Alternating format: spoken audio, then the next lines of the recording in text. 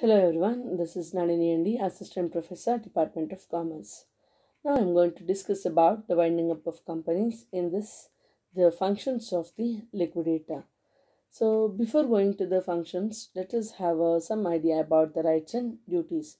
First, the right of a liquidator is that he has to admit and reject the claims of the creditor and it is a duty of his to admit and also reject the claims of the creditor. And next, he has a power to access any information system for the purpose of verification of claims, identification of assets forming a part of liquidation estate of the corporate debtor from sources such as information utility, credit information system, central and state government agency, data maintained by the board, etc., as specified in the section 37 of the code.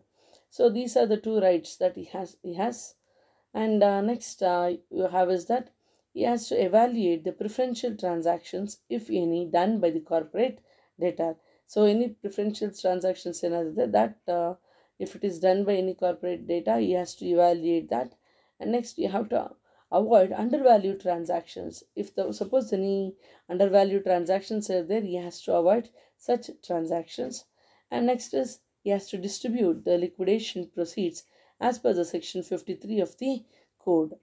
So next he has to make up the application for the dissolution of the corporate debtor once all its assets are duly liquidated. So you have to make an application for the dissolution of this corporate debtor once all its assets are duly liquidated. Next, uh, coming to the functions of the liquidator, first um, function is he has to carry on the business of the company as far as may be necessary for the beneficial winding up of the company. So he has to carry out the business in such a way that it must be beneficial uh, uh, for the winding up of the company.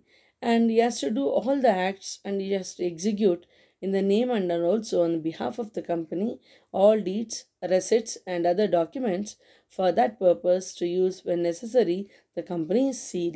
So he should do all acts and also he should execute in the name and also on behalf of the company the whatever the all the deeds, the, receipts or any other documents. For that purpose, he may also use the company's seal. And next uh, function you have is he has to sell the whole of the undertaking of the company as going concern. So he has to sell whole the under, whole of the undertaking of the company. And the next function he has to do is that he has to raise any money required on security of the assets of the company and uh, to de uh, defend any suit, any prosecution or any other legal proceedings. It may be a civil proceeding or a criminal proceeding in the name and on behalf of the company. And uh, next function what he has to do is that he has to invite and settle the claim of the creditors, employees or any other claimant and distribute the sale proceeds in accordance with the priorities established in their acts. And the next function is he has to inspect the records and also returns of the company on the files of the registrar or any other authority. So he has to inspect whatever the records is there and also what are the returns of the company on the files. So he has to inspect the files so that he'll come to know the uh, the various uh, records and also returns of the company.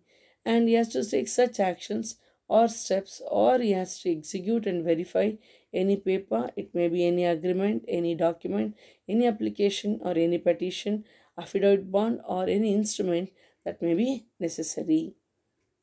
Thank you.